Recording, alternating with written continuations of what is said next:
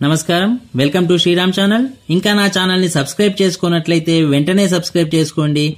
ఇంతకుముందు వీడియోలో మనం కర్మధారయ సమాసాలలో రెండు సమాసాల గురించి నేర్చుకున్నాం. ఇప్పుడు కర్మధారయ సమాసాలలోని మూడవ సమాసం విశేషణ ఉభయపద కర్మధారయ సమాసం. పేరులోనే అర్థం ఉంది విశేషణం ఉభయ అంటే రెండు. ఉభయ పదాలలో రెండు పదాలలోనూ విశేషణాలే ఉన్నటువంటి కర్మధారయ సమాసం అని అర్థం. సమాసంలో పూర్వపదం మరియు ఉత్తరపదం రెండూ కూడా విశేషణాలే ఉంటే దానిని విశేషణ ఉభయపద కర్మధారయ సమాసం అని అనడం జరుగుతుంది. ఉదాహరణకి మృదు మధురము. ఇందులో మృదు పూర్వపదం మధురం అనేది ఉత్తరపదం. మృదువు అనేది విశేషణమే మధురము అనేది కూడా ఇక్కడ విశేషణమే రెండు గుణాలే. అందువల్ల ఇది విశేషణ ఉభయపద కర్మధారయ సమాసం.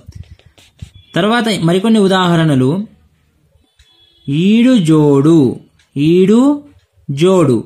ఈ రెండు కూడా విశేషణాలే. స్నాతానులిప్తులు. అంటే ఇక్కడ స్నానం చేసిన వారు అనులేపనం చేసుకున్నవారు అని అర్థం. రెండు కూడా విశేషణాలే. శీతోష్ణం శీతమైనది అలాగే ఉష్ణమైనది. తర్వాత భోజ్యోష్ణం. భోజ్యోష్ణం భోజనం చేయదగింది. అలాగే ఉష్ణమైనది అంటే వేడిగా ఉన్నటువంటిది. అమలోదాత్తము అమలమైనది మరియు ఉదాత్తమైనది. ఇలా రెండు పదాలలోనూ కూడా కేవలం విశేషణాలే ఉన్నట్లయితే దానిని విశేషణ ఉభయపద కర్మధారయ సమాసం అని అనడం జరుగుతుంది.